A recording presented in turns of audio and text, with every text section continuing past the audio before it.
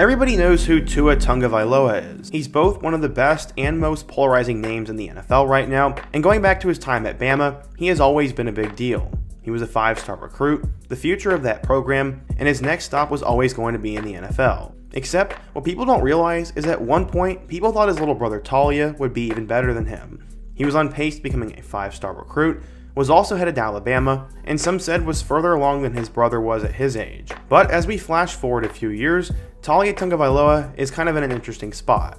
While he did start for four seasons at Maryland, he's one of the more polarizing names in this year's draft class, and to be honest, I don't think he has what it takes to actually make it to the NFL. In today's video, we're going to talk about him.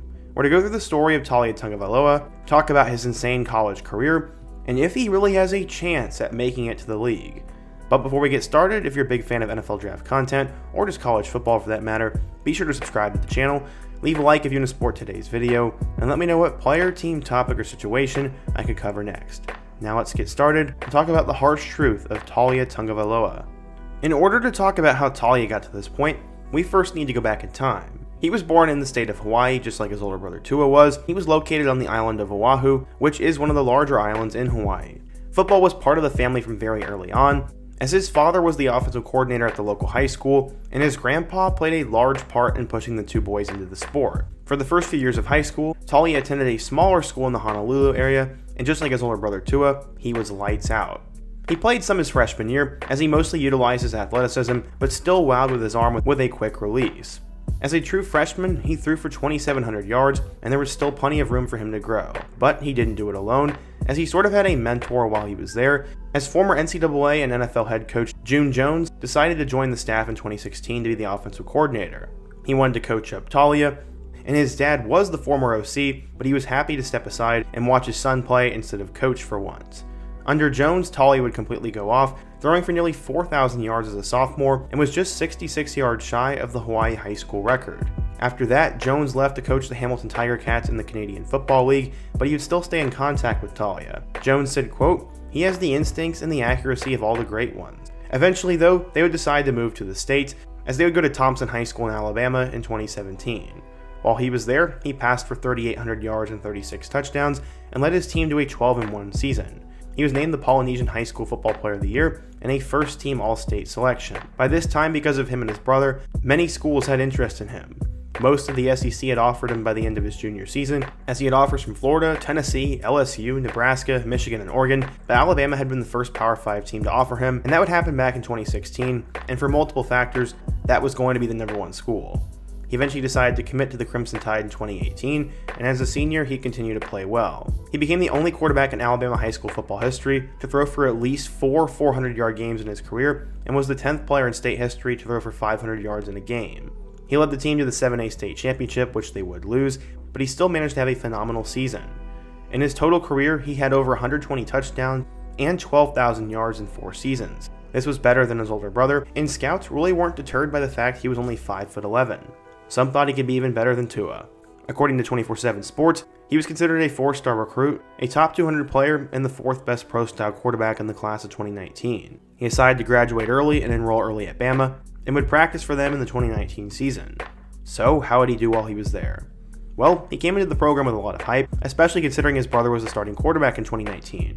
Jalen Hurts had just left for Oklahoma, so now that starting role was Tua's. The other freshman quarterback on the roster, Layne Hatcher, had just left for Arkansas State, so when Tua went down with an injury, it was going to come down to him and Mac Jones. Jones would end up winning the job, and from there, Taulia saw the writing on the wall. His dad said, quote, he was told he was going to come in and compete, and he really didn't get that opportunity, so he wanted to use the spring to do that. But with everything going on in the world, he didn't really have an opportunity to compete, so he decided to transfer. He end up transferring? Well, he would follow Mike Locksley to Maryland, and this got an immediate amount of hype. At Maryland, Taulia would be coached by his former OC at Bama, Mike Locksley, obviously, and while it was a fresh start, it was now out of the SEC, as they obviously played in the Big Ten. He was officially a sophomore since he played five games at Bama the year before, but he was still named the team starter for the shortened 2020 season. In that year, he threw for just over 1,000 yards with 7 touchdowns and 7 picks. While it doesn't really seem that good, he did lead the entire Big Ten Conference in yards per completion and was second in passing efficiency and yards per attempt. Still, those 7 interceptions hurt, and they ended up going 2 and 3 as a team. His second year in 2021, he would improve. He threw for 3,800 yards, 26 touchdowns, and 11 interceptions, and he'd lead Maryland to a bowl game with a 7 6 record. The Terps had spent a long time looking for consistency at the quarterback position, and Taulia was now settling in. In the 10 years before Taulia, 11 quarterbacks had started at least one game for Maryland, and only 8 of them had started at least 7 games. In 2022, Taulia would prove his consistency as he once again threw for over 3,000 yards with 18 touchdowns and 8 picks. But they'd only really improve a little bit as they went 8 and 5 before defeating NC State in the Duke's Mayo Bowl. This became the first back to back winning season since 2003, and Taulia would use his final year of eligibility to come back in 2023. This would be his last season, and he once again went over the 3,000 yard mark. He threw for 3,377 yards with 25 touchdowns and 11 picks.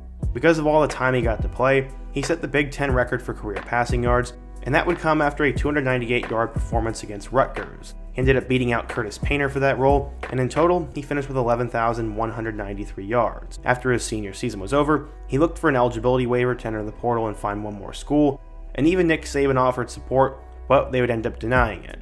Instead, he would now have to declare for a very, very stacked 2024 NFL draft class, and he would sit out the bowl game to prepare for the future. As I said, his waiver would end up getting denied, and now he's trying to find his role in this year's QB class. He definitely was an extremely good quarterback for Maryland over the years, but in my opinion, he really didn't win that many big games, and I was never really wowed by him. The rumors claim that there was at one point a $1.5 million NIL offer, and that was for him to transfer to an SEC school, but that would not end up happening.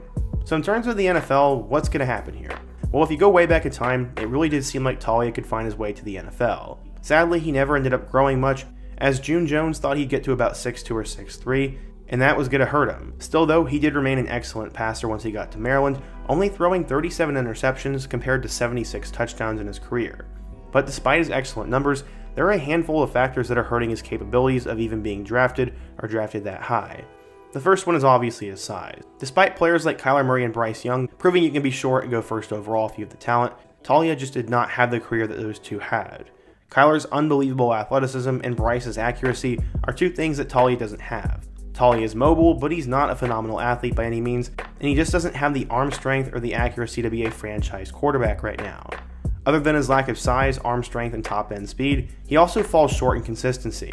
His quick release that intrigues so many college scouts has been offset by hitches in his throwing motion, and a lot of times he has a lot of panic throws or dumb decisions. He's been told to have a tendency to completely panic once a play breaks down, and that can have catastrophic effects in the NFL. Honestly, if he's even drafted, it will be later. I'm talking the 6th or 7th round. Honestly, that'll be because he's a good but not great player who has an excellent football mind and is related to a really good starter in the NFL. Most scouts were pretty disappointed with his pro day at Maryland, but are still intrigued by how well he interviewed. He should be a long term backup in the NFL, and even if the concept of the two Tagovailoa brothers playing in the same NFL game isn't very likely, maybe it will happen one day. Honestly, there's one more thing I'll add in, as I just never really thought he had that it factor. Maryland never really played in that many high profile games, he didn't have many major wins on his resume, and it seemed at times he just put up big numbers against bad teams and never actually improved the overall team. I don't know though, that's just my opinion. I'm definitely not trying to be a hater, as I really did enjoy Taulia and followed him closely coming out of high school, but I just don't know if the NFL is really in his future. But again, what do I know? This is definitely going to be interesting to watch, and he'll probably get taken in that 6th or 7th round. But what do you guys think? If you're a Bama or Maryland fan, what went wrong for Taulia? Where do you think he'll get drafted? And who's another quarterback or prospect I should take a look at next? Be sure to let me know down below, leave a like if you want to support today's video, subscribe if you're new, and check out all my other videos on the end screen. Hope to see you guys again soon, but until next time, peace.